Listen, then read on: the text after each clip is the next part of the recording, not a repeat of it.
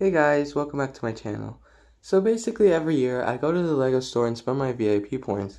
So this year I got this stuff. So first I got a gray base plate. I got it because I want to put all my new sets on it, you know, play with it with all my other sets I got for Christmas and from other parts of the year. I also went to the build a minifigure station and I got those minifigure parts, so I got legs and I got accessories. The next thing that I decided to get was the Rocket and Hulk mech.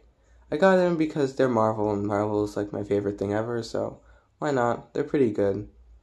I also got two Clone Trooper battle packs. These are the new ones and I like the 501st Troopers too, so they're pretty nice. Uh, I got the Creator Owl build. This is one of my favorite creator sets and I'm excited to build it. I also got Morbius versus Miles. I got this set because Miles is my second favorite Spider-Man, and then Morbius, he's become a meme at this point. I got six minifigure packs on the bottom right there. Those are just, I thought they all look good. And my favorite one is the Alien Robot Warrior. Uh, next, I got a TIE Bomber.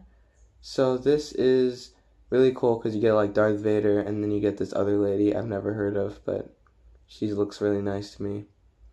And then I got a bear stunt bike Mostly for the minifig, I like the bear costume. It's not creepy. It's, it's nice and cool. I got a pinata. I like it. I like the feature where you can crack it open and then you can get all the.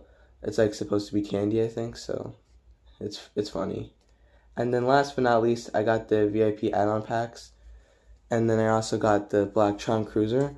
Those are the gift of purchases, and I was able to get um, like over 190 to get both.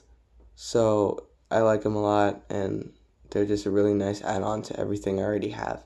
So yeah, that's it. Um, subscribe if you want to see more content like this, like more IRL content, and thanks for watching the video.